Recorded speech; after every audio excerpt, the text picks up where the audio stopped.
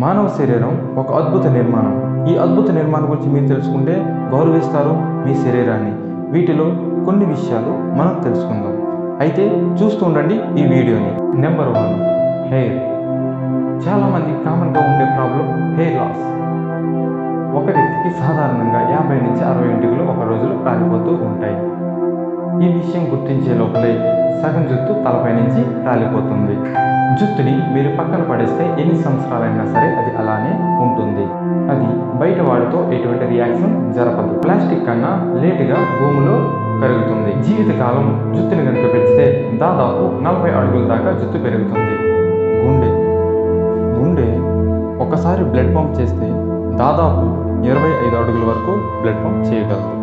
ఒక రోజులో మానవ శరీరంలో రక్తం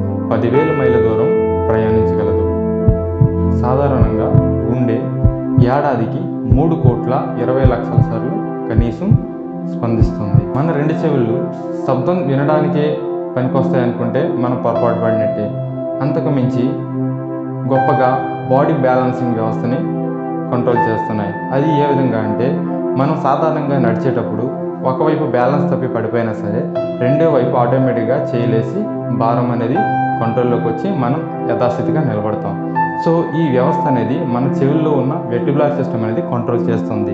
సో దీనివల్ల మనం బ్యాలెన్సింగ్గా నడవడం కానీ నిలబడడం కానీ పరిగెత్తడం కానీ చేయగలుగుతాం. మన చెవుళ్ళు మన కాలు ఏలికి తగలాలంటే దాదాపు మనం పద్దెనిమిది వేల సంవత్సరాలు బతకాలని సైంటిస్టులు చెప్తూ ఉన్నారు.